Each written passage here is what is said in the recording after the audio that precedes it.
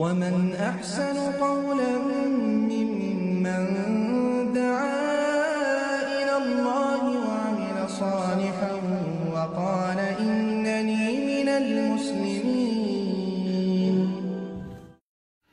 بسم الله الرحمن الرحيم الحمد لله والصلاة والسلام على رسول الله আম্মা বাদ সম্মানিত আমার দিনী ভাইরা আসসালামু আলাইকুম ওরহমতুল্লাহি আমাদের এক ভাই শামীম ওসমান একটি প্রশ্ন করেছেন, আসসালামু আলাইকুম। প্রশ্ন, মানুষের নজর বা চোখ লাগতে পারে কি?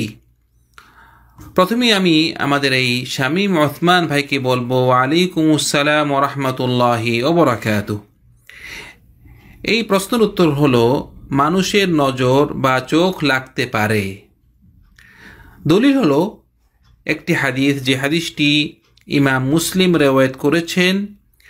আবদুল্লাহ ইবনু আব্বাস রদিয়াল্লাহ আনহুমা থেকে রসুল্লাহ সাল আলী ওয়াসাল্লাম বলেছেন, বদনজর বাস্তব।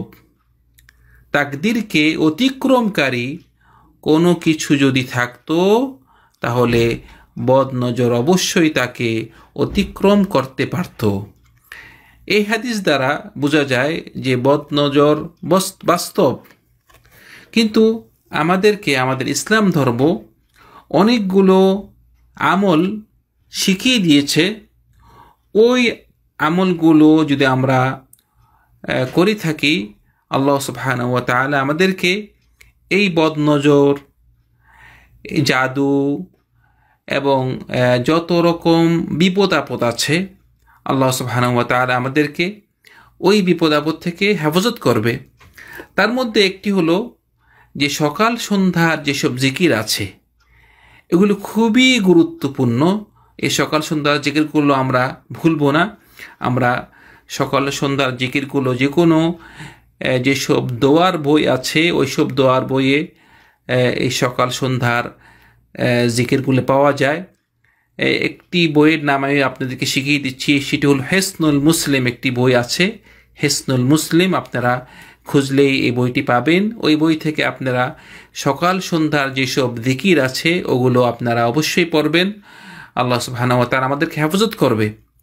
তার মধ্যে উদাহরণস্বরূপ আমি একটি বলতেছি এই সকাল সন্ধ্যা জিকির থেকে একটি দোয়া আছে যে সেটি হলো বিসমিল্লাহ হিল্লাদি লা ইয়াদুররু মা আসমিহি শাইউন ফিল আরদি ওয়ালা ফিস সামাই হুয়া সামিউল আলিম। এই দোয়াটি যদি কেউ তিনবার পড়ে সকালবেলা, সন্ধ্যা পর্যন্ত তাকে কোনো কিছু ক্ষতি করতে পারবে না।